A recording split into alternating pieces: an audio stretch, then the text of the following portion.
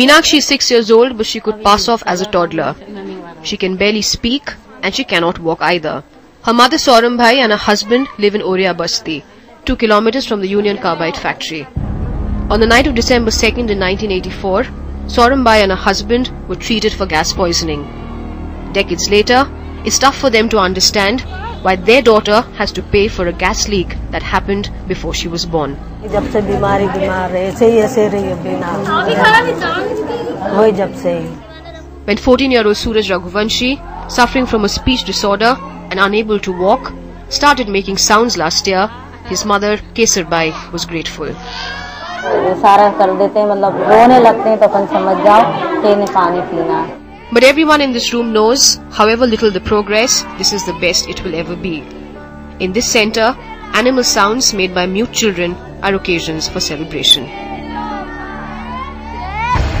The Indian Council of Medical Research had commissioned studies to analyze the aftermath of the disaster. While they did confirm that long-term damage would happen, the studies were soon abandoned. To date, no systematic treatment is provided to gas victims and their children. मेरा बच्चा पैदा हुआ उसमें एक percent genetic mutation है। पता नहीं चल रहा है।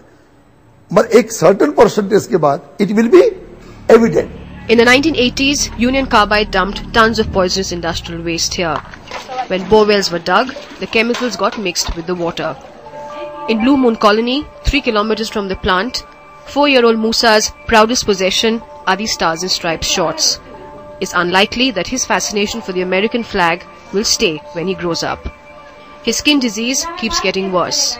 His mother doesn't realize it's the water that they've been drinking for years that is perhaps responsible. बहुत इलाज कराया हमने हमीदिया का प्राइवेट फिर इसके बाद में हम तो थक गए तो अब बैठ गए Every second house here has young adults like 20 year old Geeta and Mamta. They say it's not their fault they look like this. Unable to bear the